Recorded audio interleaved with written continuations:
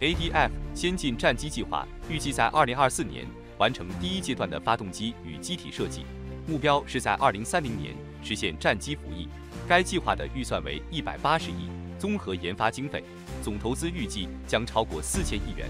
战斗机研发涉及从引擎到隐身涂料的众多技术，各国对此信息视为最高机密。这也是台湾下一代战斗机面临的主要挑战。台湾空军在成功研发“金国号 ”IDF 战机后，军事航空产业进入了一段长时间的停滞期。此外，IDF 战机预计将在未来十几年内达到机体寿命的上限，需要进行大规模更替。尽管2021年底服役的永鹰教练机带来了新的希望，但教练机的性能依然无法满足现代战场的需求。因此，研发能够替代 IDF 的下一代多功能战斗机，成为台湾空军在未来十年的重要任务。接下来，我们讨论 ADF 先进防御战机这一国际国造项目的重要性，在于避免对外依赖，同时在有限的预算内，以相同的价格获得更多产品，降低外国厂商的中介成本。此外，这也有助于提升台湾的科研能力，确保在关键时刻不被技术落后所困。目前，台湾空军拥有一百四十架 F 十六战斗机，五十四架幻影两千战斗机和一百二十九架 IDF 金国号战机。然而，幻影战机因缺乏法国的资源支持，而在零部件和升级方面面临停滞。而 IDF 战机已服役超过三十年，尽管当年作为轻型四代机具备一定战斗能力，但在当前纷纷研发五代战机的背景下，显得捉襟见肘。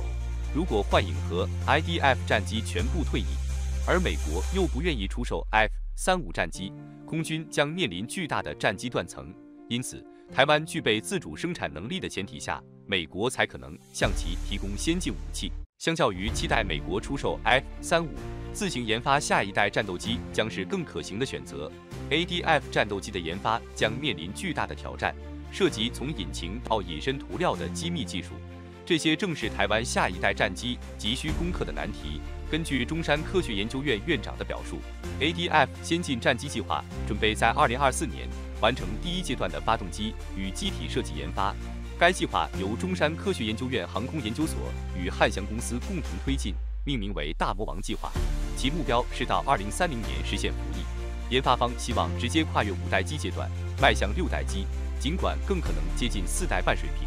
目前的设计需求包括 AESA 主动相位阵列雷达、隐身性能、内置弹舱，能够搭载四枚中程空对空导弹，并具备主动电子战系统。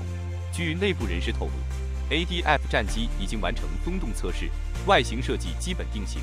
当前研发的重点转向引擎和可变喷嘴设计，但确认该战机将不具备短场起降能力。发动机研发是 ADF 计划中的关键难题之一。但台湾可选的技术方案和引擎供应非常有限。目前，台湾的织女星计划从2016年开始，以 IDF 战机的 TF-1042 引擎为基础进行改进研发，可能会采用其后续型号 TF-1088 至12、TF-1088 12的改进版，最大推力可达一万两千磅。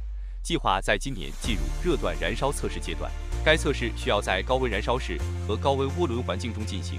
对技术精度和制造工艺要求极高，这类技术通常需要数十年的经验积累。虽然研发已在进行中，但早期版本 ADF 战机很可能需要使用外购引擎来补充动力，或视为较现实的备选方案。目前的 TFE 幺零四二最大推力为九千磅，若 ADF 配备双引擎组合，则推力总和仅为一万八千磅，显然难以满足要求。若采用升级版 TFE 幺零八八，则可将总推力提升至两万四千磅，相对更符合战机的性能需求。外购引擎方案中，一种选择是美国 FA 十八 EF 超级大黄蜂战机所搭载的 F 四幺四引擎，这款引擎也应用在韩国的 KFX 战机上。单台 F 四幺四引擎的最大推力为两万两千磅，双发组合的总推力则可达四万四千磅。此外，上代产品 F 四零四引擎也是可行方案，双发组合的推力约为三万五千磅，基本达到 TFE 幺零四二的两倍。这款 F 四零四引擎已被用于韩国 T 五零高级教练机、瑞典 JAS 三九战斗机和印度的 LCA 光辉战斗机，因其在多国装备采购中受到的外交限制相对较少。若 ADF 选择搭载 F 四幺四引擎，那么势必要增大机体尺寸，使其成为一款航程和载弹量更大的重型战斗机。这不仅要求更高的飞行员操作技能，还需要美国的全面技术支持，实施难度不小。二零二零年，汉翔公司在台中建立了洛克希德的后勤维修中心，以使台湾在 F 十六战机的维修领域积累了较为丰富的经验。然而，若采购 F 四幺四，仍需解决相当的技术障碍。另一个较为不实际的方案是使用两台 F 十六所用的 F 幺幺零引擎，这将使台湾空军后勤维修负担减轻。但由于 F 幺幺零引擎造价和维护成本较高，且单引擎推力已达三万磅，双发配置将产生惊人的六万磅推力，类似于土耳其的 TFX 战机或美军的 F 十五 EX 重型战机。然而，这与台湾的设计需求背道而驰。不符合 ADF 对中型战机的设计目标，因此 ADF 可能会采用单引擎设计，类似于 F 十六的放大版和隐身化版本。在引擎选择方面，同时进行外购和自主研发的策略或许更为务实。自行研发达到标准性能的引擎难度高，但技术积累对未来至关重要。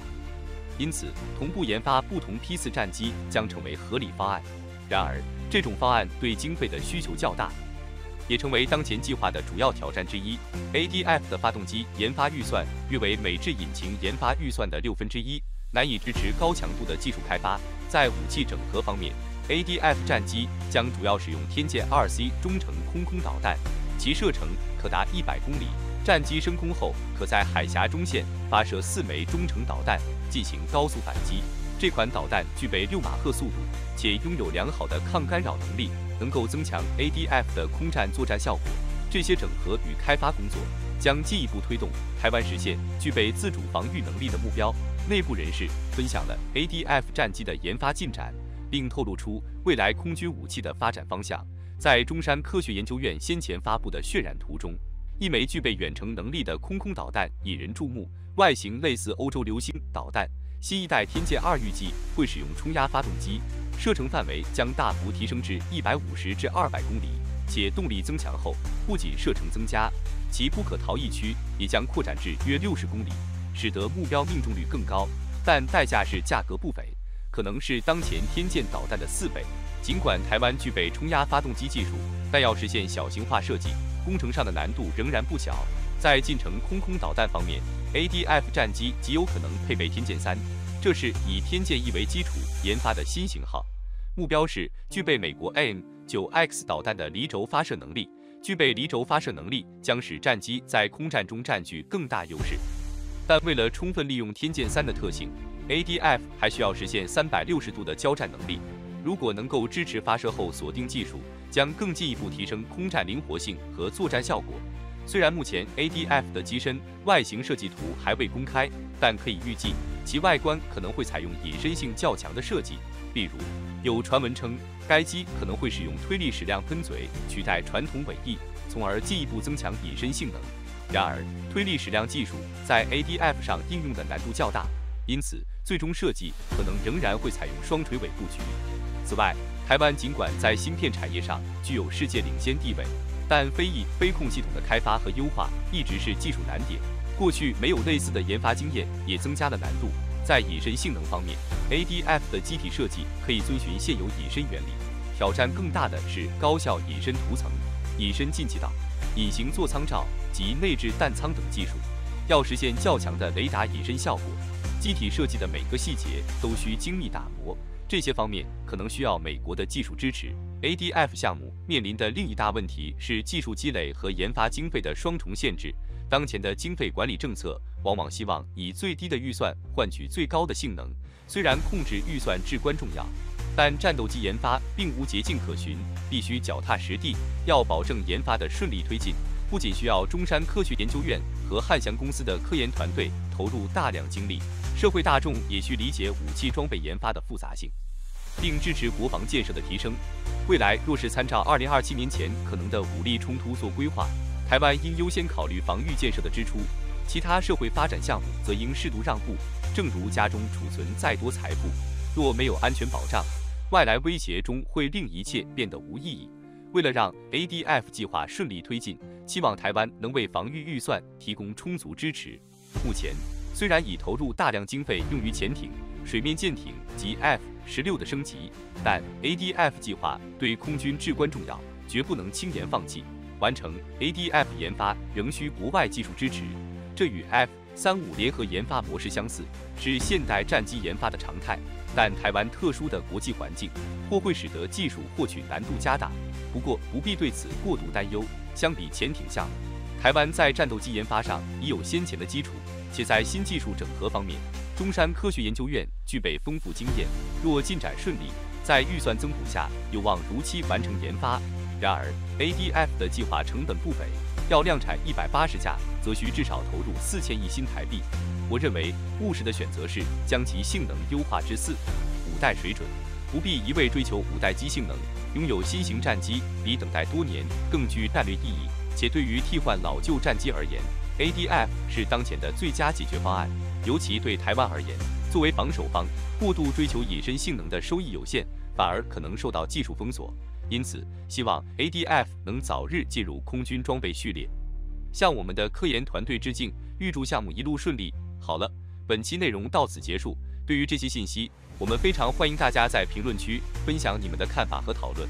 如果对于内容有任何补充或不尽完善之处，也请在评论区留言，以便我们进行更新和完善。我是环宇哥，咱们下期再见。